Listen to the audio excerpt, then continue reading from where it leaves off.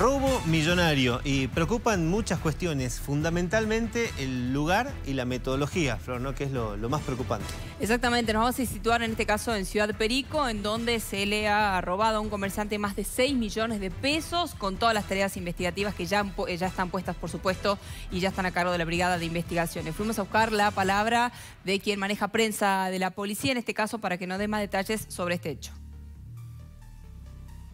Este hecho ocurrió el día sábado aproximadamente a horas 15 y 10. El personal policial de la Unidad Regional 6 toma conocimiento de este hecho por un llamado telefónico. Eh, se dirige al lugar donde se entrevista con eh, una persona mayor de edad, un hombre eh, quien refiere ser este, comerciante, se dedica a la venta de mercadería comestible por mayor. Refiere además de que momentos antes arribó a, al barrio residencial donde tiene un lugar este, donde guarda la mercadería, un depósito junto a dos empleados. Los mismos se encontraban descargando mercadería. El hombre se disponía a, ingresar a un local eh, comercial, a un inmueble que tiene frente del depósito. Cuando estaba eh, intentando cruzar la calle, es abordado por dos personas masculinos en una motocicleta 110 cilindrada. Eh, intentan arrebatarle la mochila que el hombre llevaba en su poder y este, como él puso resistencia, eh, uno de ellos esgrime un arma de fuego y le dispara en el brazo izquierdo.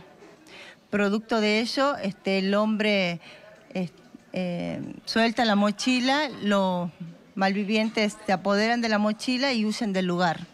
En horas de la mañana, aproximadamente a horas 09.30, un transeúnte informa de este hecho al personal policial, quienes se dirigen al lugar y establecen que en la divisoria, en un tramo de la ruta nacional número 9, próximo a unas canchas que se encuentran en ese sector, se encontraba un joven este, tendido en el suelo, presentaba considerables heridas eh, en la parte inferior eh, se solicita personal médico del SAME, quienes se dirigen al lugar, asisten a la víctima y la trasladan al Hospital Pablo Soria.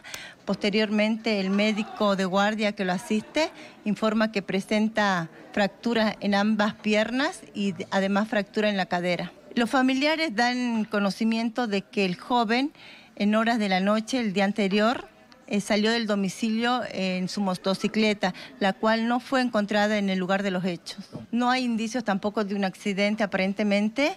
Eh, de todas formas, el personal de la Dirección de Criminalística ha realizado en el lugar todas las pericias y el hecho este, está en investigación. ¿Qué conclusiones te deja, Alberto? Fundamentalmente el primer episodio, ¿no? Otro robo de características. No son hechos aislados, todo tiene una inteligencia previa. Este es un lugar clave, una zona caliente, Perico, San Pedro, se dan sobre todo en estas rutas también, porque hay mucho manejo de efectivo. Las ferias generan esto. Hay mucho manejo de efectivo y, por qué no decirlo también, de plata en negro, porque está complicada la denuncia posterior, decir, cómo justificás toda esta plata que tenía. Pero bueno, tiene una inteligencia previa. Perico es una zona caliente hace mucho tiempo. Es más, este, generalmente empresarios de la feria y todo andan acompañados de guardaespaldas ya, o sea, se utiliza mucho esto. Pero es una característica que se está dando lamentablemente y difícil de controlar, porque reitero, la operación en negro es muy grande. Se repiten una y otra vez casos con, con metodologías similares.